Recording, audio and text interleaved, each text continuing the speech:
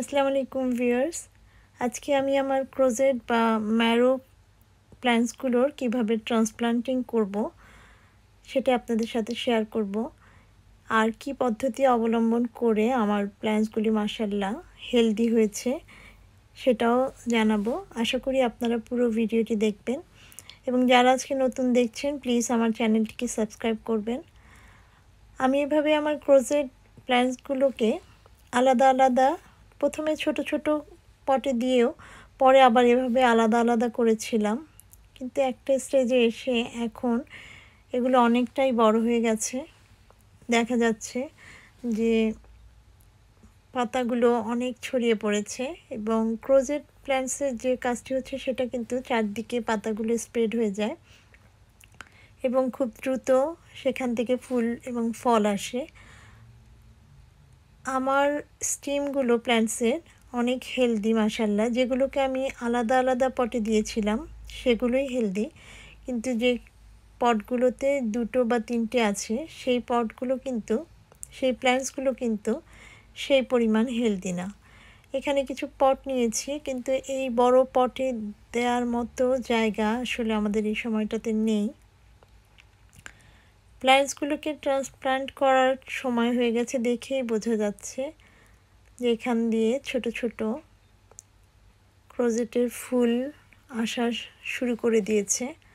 যদিও ফুটেনি প্রত্যেকটা জায়গা থেকে তাই তাই আমি ভাবলাম যে এগুলোকে একটু বড় পটে দিয়ে দিই। সেজন্যই আমি এমন একটা পট নিয়েছি এবং পলিথিন দিয়ে দিয়েছি যাতে যদি আরও বড় পটে আমি এটাকে সরাতে চাই, যেন খুব সহজেই সেটা করতে পারি। অনেক পাতা ছড়িয়েছে, তাই আমি এখানে যখন আলাদা করে বের করলাম খুব সাবধানে উল্টো করে, এখান দিয়ে শিকড় বেরিয়ে গেছে। মাসাল্লাহ শিকড়গুলো কিন্তু অনেক হেলদি। শিকড়গুলোর জন্য অনেক বড় জায়গার দরকার, যেন সে আরও দ্রুত তার এ সময়টা যদি আমরা সেটা করতে না পারি, তবে কিন্তু রুটগুলো ইয়েলো কালার হয়ে যায় এবং আরও দুর্বল হয়ে যায় ছোট পটে থেকে থেকে। আমি এভাবে করে ট্রান্সপ্লান্ট করে নিচ্ছি এবং এর উপরে আবার এক্সট্রা মেশানো মাটি। আমি এখানে তেমন কোনো ফুড ব্যবহার করিনি যখন আমার এটা ঘরে ছিল এবং এখনও এটা ঘরেই থাকবে। এটার মধ্যে আমি জাস্ট ইনডোর কম্পোস্ট যেটা পাওয়া যায় গ্রোমোর বা গ্রোশিওর সেই কম্পোস্টটাকে ব্যবহার করেছি। খুব সাবধানে। এটার গাছটা কিন্তু খুব হালকা হয় যে কোনো সময় স্টিমটা ভেঙে যেতে পারে।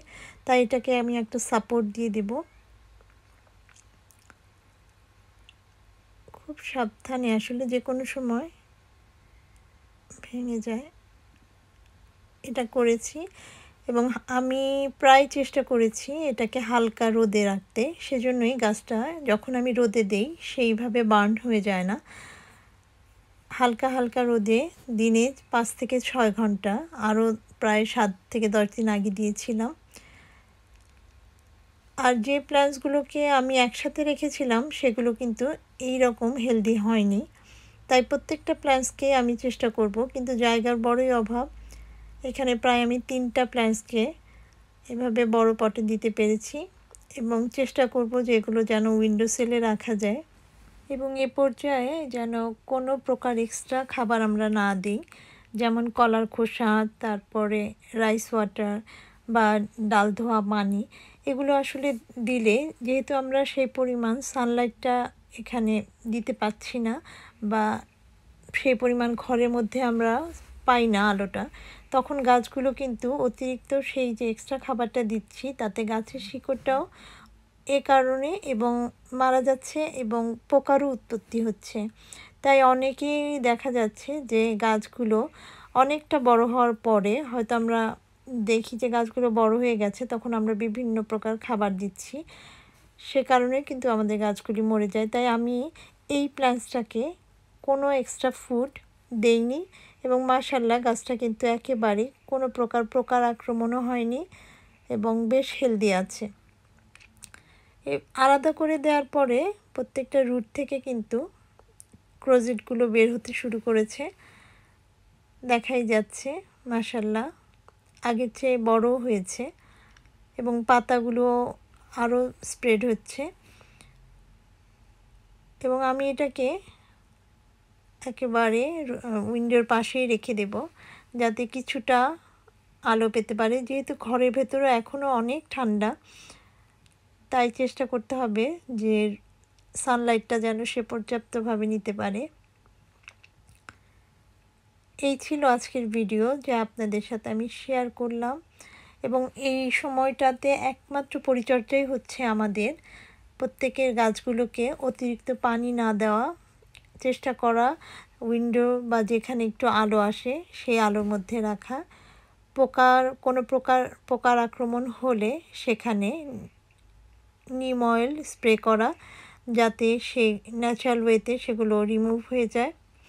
এবং যখন আমাদের প্ল্যান্টসগুলো একসাথে থাকে, সেগুলোকে যেন ছোট ছোট পটে আমরা যতটুকু পারা যায়, সেগুলোকে আলাদা করে দিই, যাতে প্ল্যান্টসগুলো কিছুটা হলেও হেলদিভাবে তার গ্রোথটা করতে পারে। এই ছিল আজকের ভিডিও যা আপনাদের সাথে শেয়ার করলাম। আশা করি কিছুটা হলেও আপনাদের উপকার আসবে। এবং যদি ভালো লেগে থাকে, অবশ্যই আমাকে লাইকস কমেন্টস এবং শেয়ার করবেন এবং বরাবরের মতোই আমার পাশে থাকবেন। থ্যাংকস ফর ওয়াচিং আল্লাহ হাফেজ।